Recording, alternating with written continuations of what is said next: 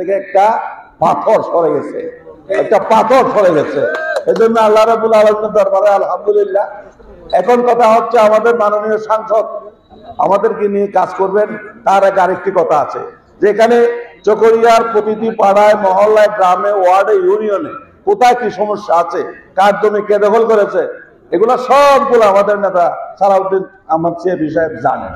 তো সুতরাং মূল কথা একটা ওনাকে আমরা যখন নিয়ে এই চকরিয়া পেকুয়ার প্রত্যন্ত অঞ্চলে ঘুরেছি, কোথায় কি সমস্যা আছে উনি জানেন তো এখন কথা ছিল, কথা মাননীয় প্রধানমন্ত্রীর কাছে গিয়েছিলাম, সেখানেও চলে এসেছি।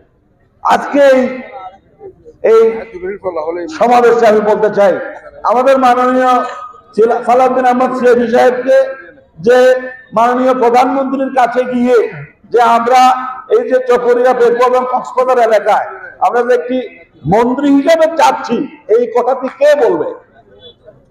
তা আমি বলতে চাই যে আমাদের মাননীয় সাংসদ মাননীয় সাংসদ এখানে আপনার আত্মীয় স্বজন, বন্ধু বান্ধব, যাতায়াত কীরকম ছিল, এটা আপনি জানেন।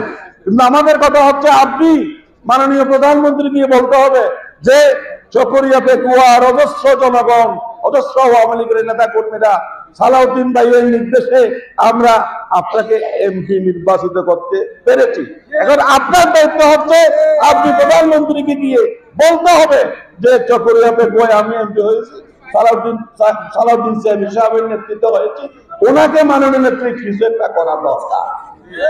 এই কথাটি এই কথাটি আমরা অনুরোধ করব, আবেদন রাখব মাননীয় সাংসদ আপনার মাধ্যমে আপনার মাননীয় প্রধানমন্ত্রীর কাছে এই কথাটি উপস্থাপন করতে চাই।